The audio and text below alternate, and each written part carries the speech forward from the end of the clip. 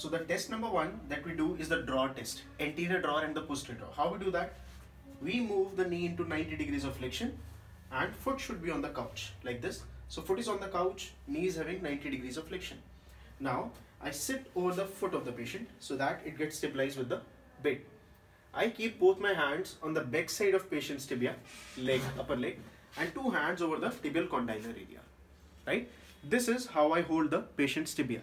So when I try to pull it anteriorly, that is anterior translation, I am trying to check for ACL, anterior cruciate ligament.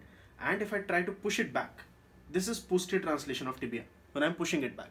So that is for PCL. So ACL and PCL. Now you can observe some degree of translation. See, you can easily observe some degree of translation in his tibia. So there is always some laxity. There is always some laxity in the ACL. So see, the tibia is coming anteriorly. This is ACL, right? When I push it back, it is PCL. So this is anterior and posterior draw test. Second test that can be done for anterior cruciate ligament is known as Lachman test. How we do Lachman? In Lachman test, the knee only needed to be flexed to around 20 to 30 degrees, right? Almost this much. Okay? We hold the femur, the lower end of femur or the lower end of thigh by one hand. We stabilize it. Okay? So I stabilize it. By other hand, I hold the upper end of tibia and I try to move it anteriorly. Okay? I try to move it anteriorly. So if I move it anteriorly, that means ACL is gone. Now why we need to test? Okay? As you know, the ACL and PCL by if tested by anterior and posterior draw test, they need 90 degrees of flexion, but this Lachman only needs 20 degrees. So for your MCQ PGME purpose, you must know the only test to be done in the case of cruciate injury in acute cases, it is only Lachman, right? So we only do Lachman in acute cases. For chronic, do whatever you want, uh, Lachman or the anterior draw. Okay, so these are two tests for the cruciates.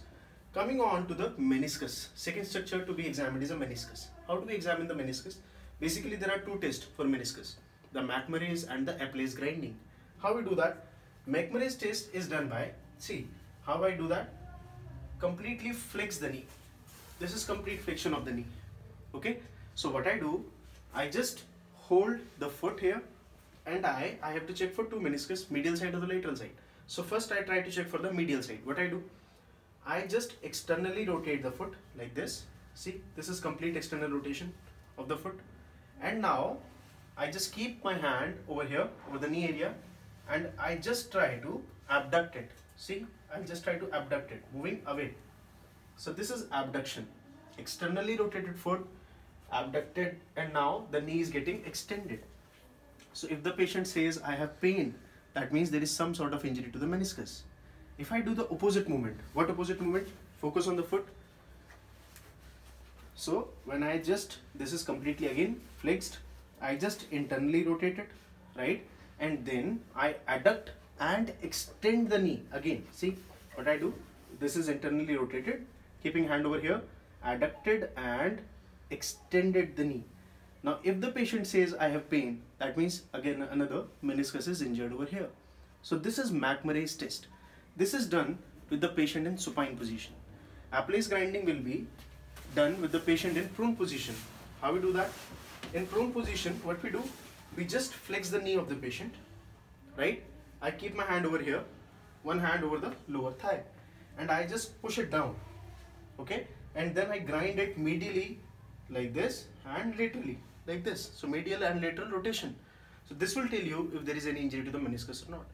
Preferably this test is not done. You should not do it because initially there might be minimal injury and when you grind it, you are creating a bigger injury to the meniscus, right? So these are two injuries of the meniscus, Apley's and McMurray's.